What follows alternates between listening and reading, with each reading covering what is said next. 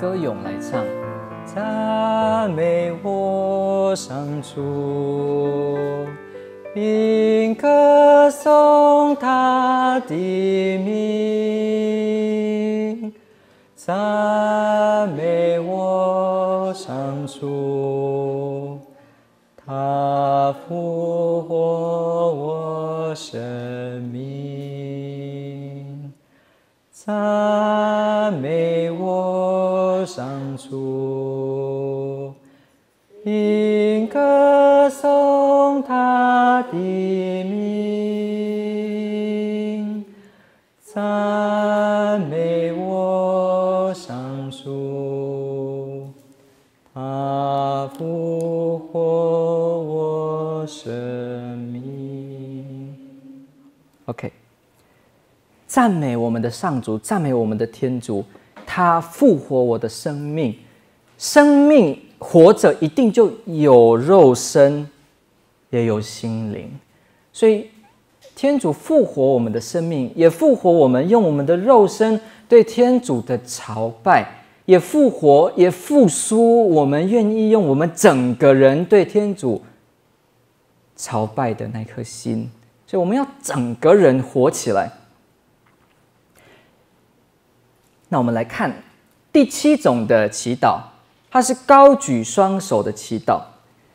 那这个图没有很清楚，我应该要做一次给你们看。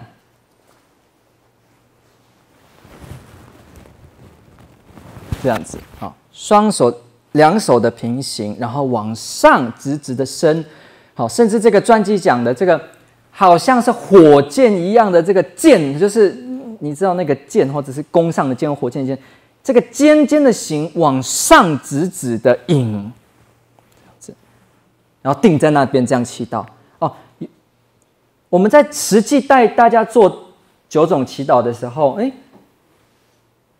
有些时候这个很酸的，或者是说你维持这样子，很胸感觉有点闷和压迫，因为你整个人这样子。而且他还会看着这个，你可以说两手中间交汇点，也就是对上的那个仰望，然后他开始他的祈祷。好，这个传记怎么他怎么写这个第七哦？我们稍微听一下，他像一支紧绷弓上射出的箭，直入云霄，以达天国。站立，双手高过举头，合在一起，或者稍作分开，好像仿佛想从天上接受某样东西。他是在接受更多的恩宠，在心仪神池当中，为自己所立的修会恳求上主恩赐圣神。好，然后呢？呃，好，他做这个动作的时候，哈，有时候就是整个好像。出神哈，进入至圣高天。他如此祈祷之后，仿佛成了一位先知，在讲道、纠正过错及指导他人时的一个先知。好，上主所有的一切仆人，请赞美上主。夜间，请你们向圣所举你们的手，赞美上主。这都是圣咏。愿我向你行的祈祷，像馨香上升；愿我的手高举，如同晚间的高腾，晚祭夜晚的祭，祭祀祭的高腾。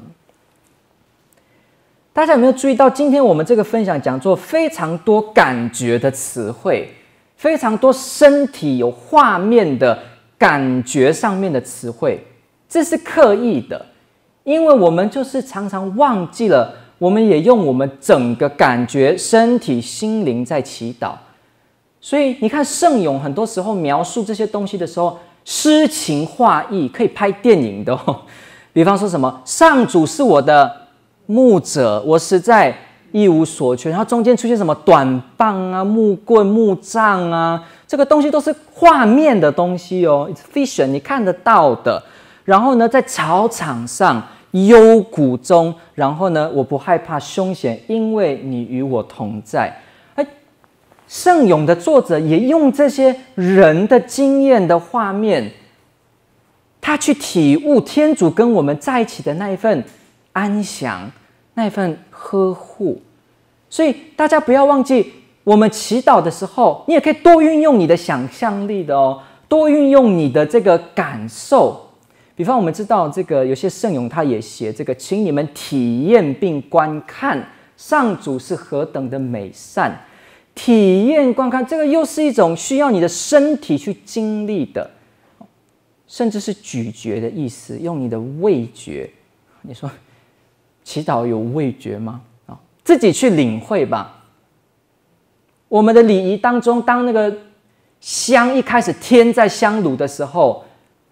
味道灌满你的鼻子，那是什么样子的境界？所以你们放慢速度去想一下。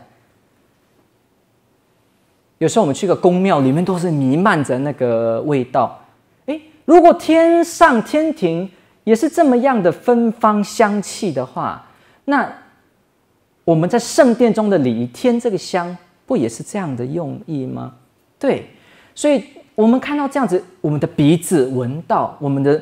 神父的主器穿上的祭衣有颜色的区别，蜡烛有烛光，圣堂的布置有样子，每一个都在表示天地万物、物质、衣服、歌声、香气、感觉、知觉，全部都在赞美天主。这是天主教我们礼仪精髓当中背后的灵魂，就是在这个，是因为我们整个人、整个世间都要赞美天主。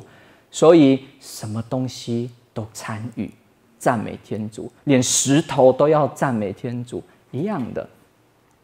所以，他高举双手，道明高举双手，好像是我这个红字写为人生而转向，定位，然后你瞄准这个箭的动作，就知道我们箭是要射中。靶的吗？它是有方向性的。你可以想说，圣道明用这个动作呢，让自己的意念集中在一个点上面。你知道，呃，镭射你闪着打，跟你集中一个点打是有差别的。哈，如果那个又做化疗的就知道，那个有些时候小的肿瘤要集中一个点打。你集中的时候，你的力道是强的。双手整个定睛天主，这么样一个不是很舒服的姿势，我们真的做的时候，这边都是脸红气喘的这样。但是他在表达的是什么呢？我要让我的人生转向天主，瞄准天主。天主是我们生命中的目标。我们常常是忘记这件事，修道修很久，哎。不知道自己要修什么，还是为了什么而修？哎，我们自己做基督徒也是一样，哎，就觉得好像可能只是一个名声吧，一个文化吧，一个认同吧。但是我们忘记了，我们在世间赚的钱，在世间的努力奋斗，不是只是这样而已，而是带我们最终是要往生命的圆满去。是天主，但是这个方向你忘记了，人没有方向就会慌，就不知道在往哪里走。你可以知道，我们去那个我刚来台北的时候，那个呃台北火车站，哈，四面八方都是路，对不对？都可以走。哦，姐姐就跟我说，你只要看路标就好了，你就抬头看那个标语，你就不会迷路了。反正你就是看标语。我说。那个要怎么去？他说我也不知道，因为会改会变。那要怎么知道哪里在哪里？也不能讲，因为我也很久没去了。你就是看路标，你就不会迷路。好，所以我真的试了，哎，有效。我这样看就会知道哦，厕所在这，都写的清清楚楚。没有人会一直住在台北火车站的，那里只是一个转运，大家都要去各自的人生方向。所以你看到人人海在那边的时候，都在往自己的方向目标走。我们的人生也像这样的一个台北火车站这样，在这个里面，你究竟要去哪里？有些人很清楚说我是要去新竹开会，然后我又要回来了。有些人说我要去机场。你去想，如果火车站一点都没有标语，一点都没有指示，不是很慌吗？我们只有在那边愣着，不知道哪里是哪里，好像毫无定向感的人，你就把他，你突然被放到一个孤岛，什么都不知道，你不知道你要去哪里。我们生命没有目标，不知道要去哪里的时候，是非常悲惨的，因为你找不到为什么而奋斗。有时候我们说结婚的时候啊，为我的家庭、为我的孩子奋斗；如果你是事业在身啊，为你的梦想奋斗。我们总要有目标，不然你不知道要怎么样。那么辛苦做什么？读那么多书做什么？有目标。你就会发现，没有痛怎么成长呢？你就会有这样的转念。所以也是一样，人生有没有最终极的目标？难道我只是一直赚钱，赚到后来，然后我没有钱了，因为我拿不到，因为我要走了？有一个有一个作家，他讲说，人生就好像是我到五十岁的时候，我一直在得到，我在得到，得到，得到，得到，到后来的时候，我开始在失去。失去，失去，失去，失去，到最后什么也带不走，就这样，好像是我一得到了，哎，怎么慢慢也就是那个得到的就不见了，哎，熟悉的朋友也一个一个先离开，哎，你熟的人越来越少，不认识的人越来越多，环境的变化让你觉得不熟悉，但是一直来，一直来，一直来，那究竟我们赚的钱，我们的工作，我们的目标是在为了什么呢？如果只是这样的一个终点句号就停在这里的话，那活着做什么呢？可能我们会去想说：“哦，我暂时的目标是我为了我的家庭，我为了什么？”但是那些也都在变动当中。我的另一半哦，他也没有会一直跟我在一起。我生命中的事物，可能我这个投这个。投资做得很好，这个生意下得很好，你可能下一刻就没有了，因为你突然有一个疫情，你的行业受影响。我们很安全的觉得每天都是如此，结果变动来了，就发现好像没有一定是如此。我们是基督徒的意思，就是我们知道穿破、穿过这些。云雾的背后，我们有最终极的目标，那就是我们的生命在朝向圆满，朝向天主。天主是我们最终最终的目标，他给了我们生命，让我们在这个世间也体验到这个生命的意义。然后呢，我们的这个意义，完全的就好像，呃。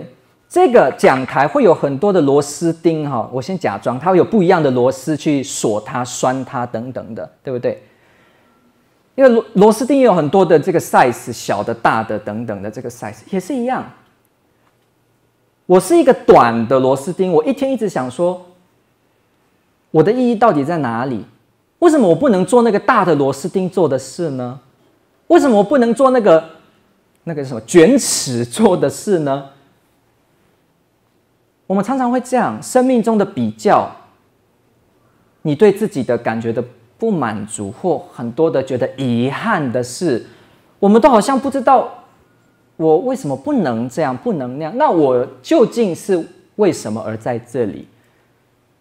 有一句很简单的话，就是哦，你就去问设计师，因为组成一个这样子精巧漂亮的讲桌，需要各种螺丝。你要问这个设计师才会知道啊，为什么你是短的螺丝？因为你很重要，你在一个地方会钉上去，没有你的话，这个会垮。那另外一个长的螺丝，它也有长的螺丝的意义跟它的目的。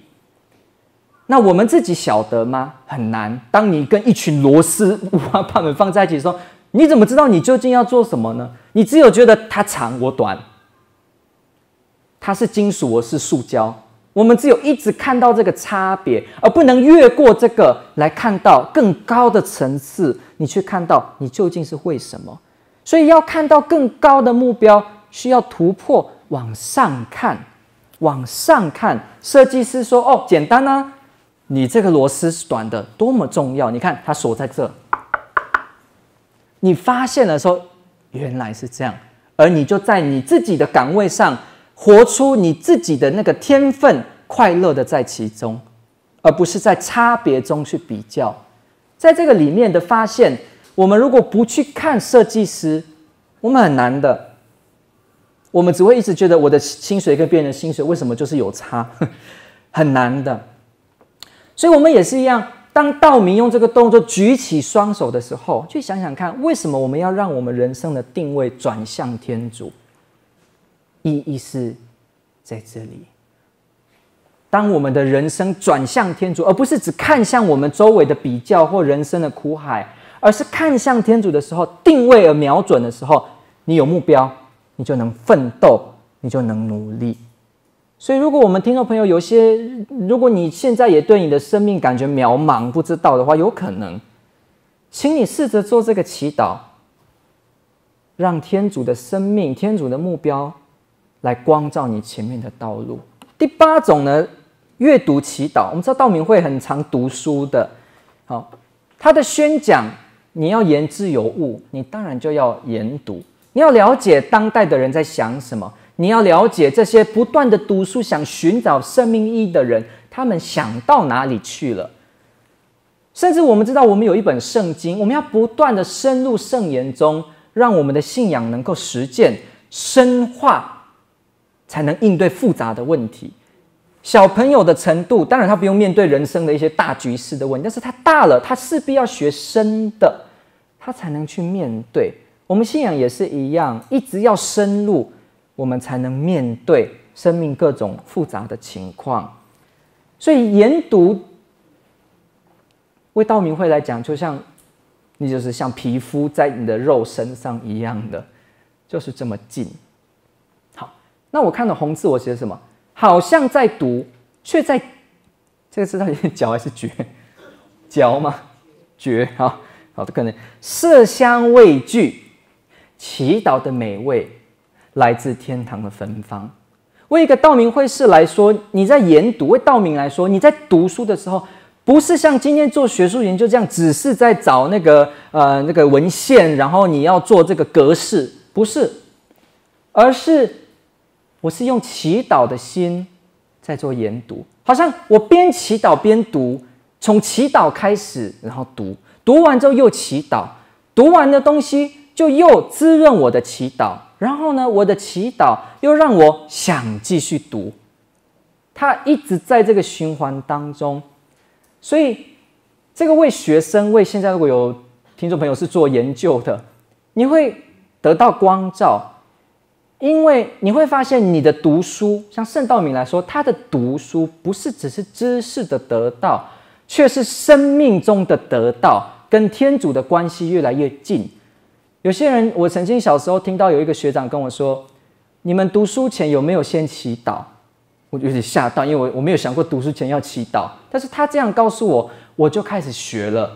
读书前先画圣号，我就 后来我发现很有意思，因为耶稣陪我读。慢慢到了道明会，我发现哇，这就是更直接了。我们的祈祷。我们在读的时候，好像那个每一个文字都在让你咀嚼天主的奥秘，然后呢，在里面有各种味道、各种美好的东西出来，所以你在里面越来越深、越来越深的体悟天堂的芬芳，这很不一样。因为我们想到读书是想到很苦的研读，或者是，呃，为了赶快赶那个好教授要追你，还是什么，还是你自己有这种目标。但是在道明会当中，在道明自己的这个研读却是这样子。研读的时候，对不对？好像他在读这个圣经或读天主的话的时候，更深的，好像人直接跟着苦难的基督在一起。我们知道传统教会，我们都有这个 Lectio Divina 这个圣言诵读的祈祷，或者你说灵言诵祷，还是你说慢慢的读一字一句的读圣经，然后越读又咀嚼，又反省，又祈祷，交叉当中深入、深入再深入。这个古老的修道院就有的一个祈祷方式，圣道明也是有这样子的。那时候的修会其实很多都是继承了这样的一个传统。我们在读经的时候，不是只是读，而是读的时候好像在挖、在掘、在体会啊。你祈祷读一读，读就闭上眼睛了，因为你的人已经出神了。然后出神的时候，你又回来读这个字句，不断的在里面品尝。你有这样子的读经吗？圣道明在这样的方式中，好像亲身的跟十字架、跟基督在一起。啊，所以道明的很有名的这个哈，这个这个画像，也看得到他静静的在默想，在读。好，这是现代版的，对。第九种，我们的中文翻译叫“默观祈祷”，但是在有的英文书，它直接写是 “always praying”，总是祈祷。好，到底什么是默观？你好像可以翻很多书哈，教你灵修学，教你什么什么。然后有时候我们说，我们参加了啊神操，参加了。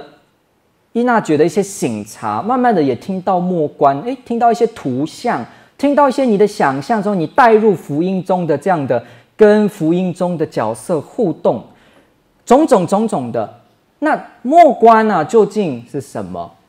确实，在基督徒历史中，非常多人讲末观，也非常多不一样的角度在讲末观，你实在很难完全掌握。当然，你会说你学了伊娜觉的末观，你学了谁的末观啊？你学了圣伊会加尔莫罗的末观，看狮子王大德兰等等的，都是。那在道明的会当中，我们这样的末观，有些人听到末观会觉得这个词太玄了，玄到我就是不要理解比较好。这个我也了解，但是末观真的那么难吗？不是。有些时候，目光会跟静静的坐在那边，呃呃，当成一样在谈。所以有人说：“你会默观吗？”对，我会默观，因为我现在坐着十分钟没有动，没有讲话，我安静，这样叫默观。其实这个只是你默观祈祷中的一部分，它不是代表整个默观。好，那你就问：那什么代表你的默观呢？那我们就问。那你什么时候开始默观？如果你问一个道明会是说你什么时候开始默观的，这个很难回答的。为什么？因为根本不能问你何时在默观。你时时刻刻的生活里面当中带着祈祷的心情、祈祷的开放的心，你就是在默观了。所以，一个道明会是一个。我们这些老修会传统当中这个默观哦，你很难说什么。你什么时候开始默观？四十六分十七秒开始，然后五十分停止，没有这样子。你可以说你煮菜的时候，你这个电池，你煮菜的时候，你抱小孩的时候，你搭公车的时候，你跟你的弟兄姐妹讲话的时候，你都在默观的场域里面在进行。你用你的情感。你用你打开的心说：“天主啊，我知道你在我生活中，我愿意让我的生活时时刻刻的经历你，请你透过我的生活显示你自己，透过我的工作、我的日常生活来让我触碰到你。我愿意时时刻刻兴奋的期待着你会在我生命中的每一刻向我显现。”你会在我搭公车的时候显现，你会在我跟朋友聊天的时候在一起，你会在我迷沙的时候显现，你会在我开心的时候显现，你会在我悲哀觉得一个人的时候显现，总是显现。我欢迎你成为我每一分每一秒都在跟你连接。当你有这样的体悟的时候，你用这样的体悟来贯彻你的生活的时候。你已经是末观中的人了，所以你很难说什么动作叫末观，因为你整个生活都是你末观的场域。我这边红字怎么写？我们一起念：是动静中经历，是五官经历，是感情经历，是关系经历，是愿意经历，是总是经历啊！注意哦，我只能用我们只能用这样的话来讲。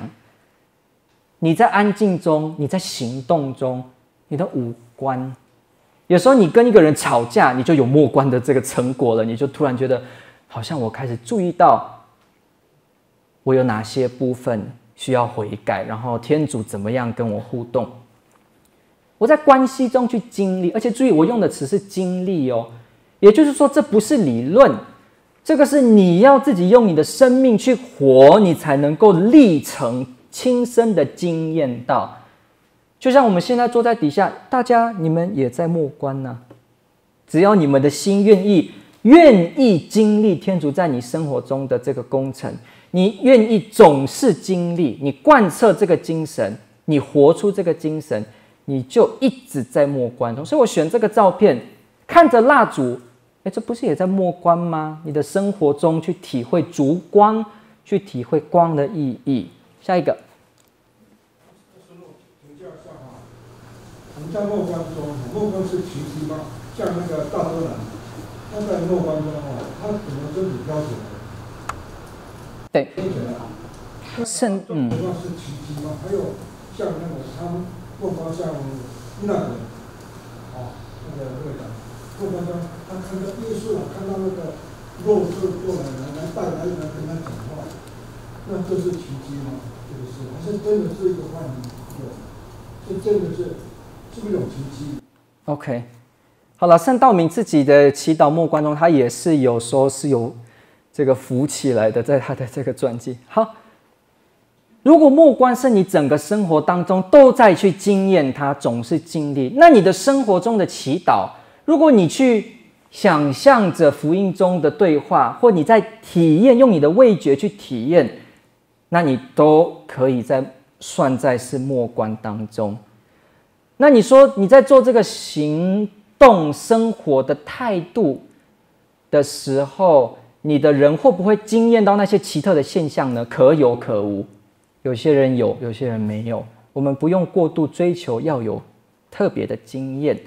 有些人就那一刹那，像多马斯圣多马斯那一刹那的经验就这样。